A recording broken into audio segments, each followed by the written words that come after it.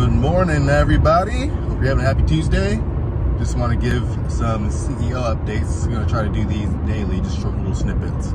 Um, but yeah, see, first day, Monday, done. Definitely very intense, but a lot of good work done. Uh, just want to give some updates. I know that there was some stuff on the Telegram chat that I guess didn't necessarily get uh, to be or questions that didn't get to make the, the pre-recorded AMA. So go ahead and get get that answered. Um, I believe uh, Thomas uh, sent a reply in the chat, but want to give a video just so you guys can see my face and hear it straight from the horse's mouth. So, um, so yeah, uh, I guess one of the questions, one of the bigger questions was about the 50 million tokens within the the uh, project fund wallet. Uh, I think Thomas did a good job explaining it, but I'll go ahead and uh, start from the beginning and just kind of go from there. So the project fund wallet, originally, uh, that was tokens set aside from uh, from the dev wallet to uh, to finance solar projects as as they came through.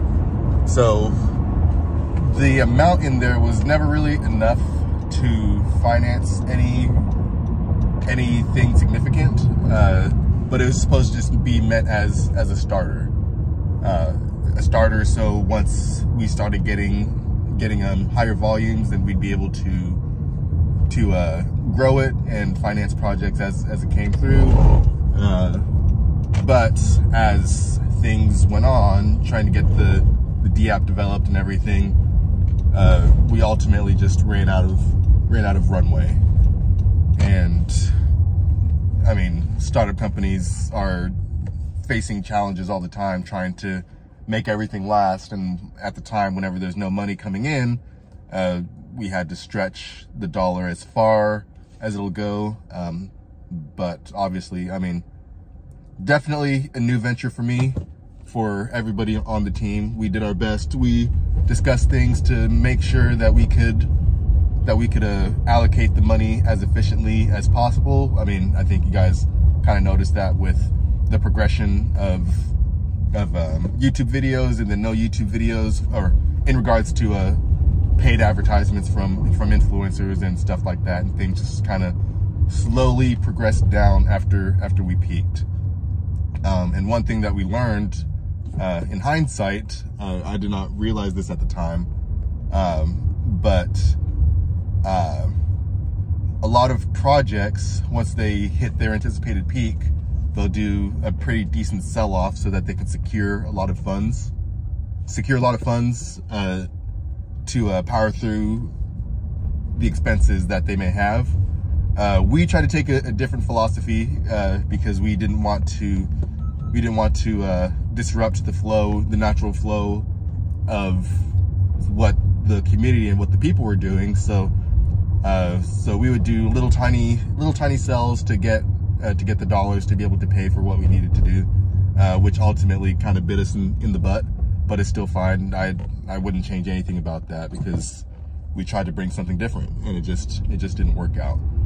So, and then the whole thing with with Alex, that was a whole ordeal, and it sucked at the time. We couldn't really discuss too much about what was going on. I think we could discuss it now. If, if we get in trouble, then I guess so be it. But um, but with Alex, um, after we learned who he was and and uh, what was what happened, ultimately he was not not a good actor, and uh, we were reached out by the FBI.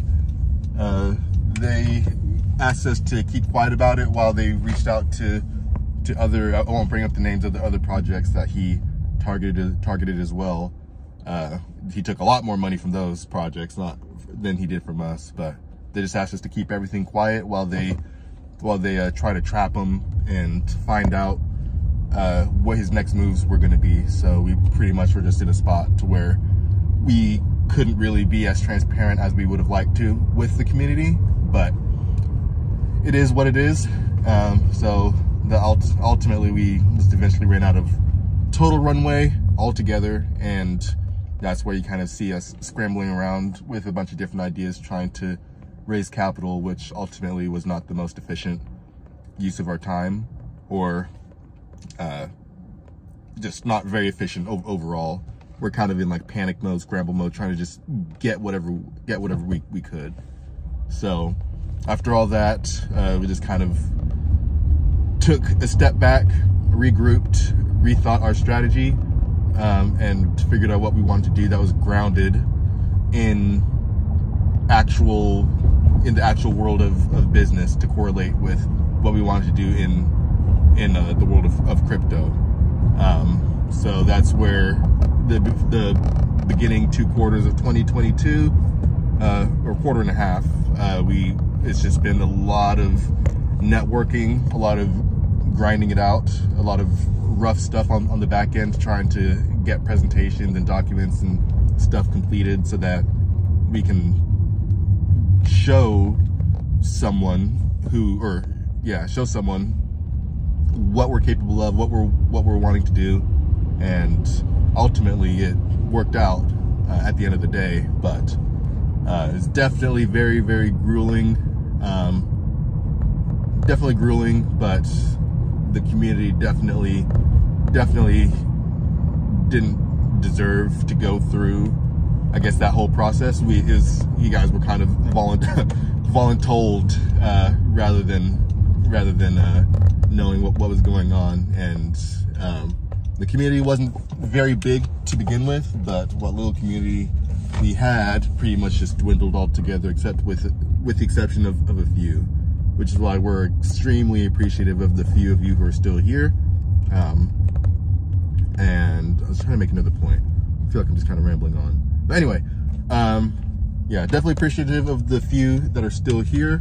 Um, now that uh, we're finally in the spot that we wanted to be, we are we are pretty much tapped into an unlimited supply of resources that we're going to use to to uh, exponentially grow this entire this entire project. Ah, this is the point I was trying to make.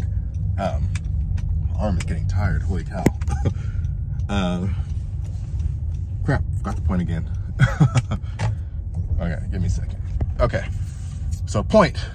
Uh, so I'm just extremely proud of our guys and our team because I believe if it was any other project going through the exact same thing, running out of runway, a lot of times just just means packing it up and going on to the next venture, not really giving much regard for for what was considered a failure at, at the very beginning. But uh, I, our team has a lot of resolve. We we stuck around with it, even though it seemed fruitless at times. Oh, one second. Even though it seemed fruitless at times, and and um, yeah, I think it just shows a lot about the team uh, deciding to stick through stick through this because we believed in the vision uh, and none of us went went everywhere. Every single team member except for Alex is uh, still on the team and each one of us went through our own individual hardships that I won't get into but but uh we stayed nonetheless and we're here for it but yet as like with everything that we've been going through, I understand that that may, like, people just see what's on the outside. They don't understand what's going on on the inside, which is totally fine. I am man enough to admit whenever things went wrong and to take responsibility for it. I take full responsibility for everything that's been going on as a CEO.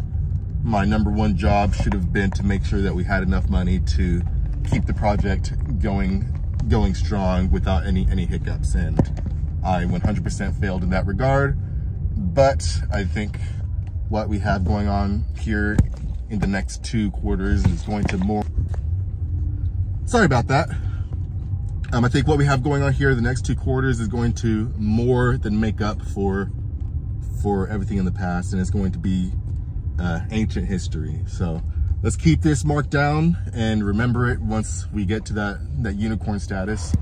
Where we were and all the all the struggles and the work it, it took it took to, to get here. So um so if if for those of you who who feel like you can't trust the project anymore and you want to move on, that's completely fine. Uh, but just know that we, even the ones who, who aren't with the project anymore, we still definitely care about every single one of you. We, we hope and pray that you guys are, are doing well. And if we're in a position to where we can help, if you guys are ever in a situation, then definitely reach out. Uh, I want to try to try my best to have eyes on everything that's going on in the community. So wherever there's there's an energy that we could put towards making a positive impact, then we could definitely do that. So gonna call that a wrap for this one.